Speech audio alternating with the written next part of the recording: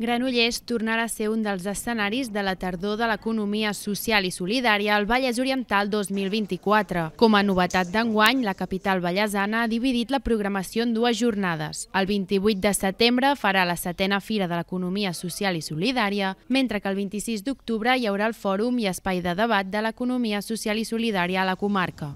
El treball que estem fent amb l'Ateneu doncs, és molt enriquidor, crec que, que anem fent passos endavant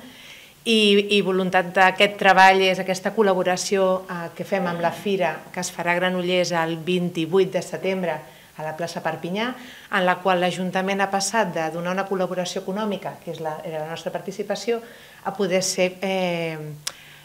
co coordinadors a, i hem participat en tot, el, en tot aquest treball en el qual n'estem molt orgullosos. En la presentació d'aquesta agenda, que es pot consultar al web de l'Ateneu Cooperatiu, s'ha posat en valor el fet que l'economia social i solidària sigui cada cop més una realitat a la comarca. Que l'economia social i solidària és una realitat al, al Vallès Oriental, que ja està donant resposta a les necessitats de les persones i que permet a més l'articulació de tot un mercat social al voltant que cada vegada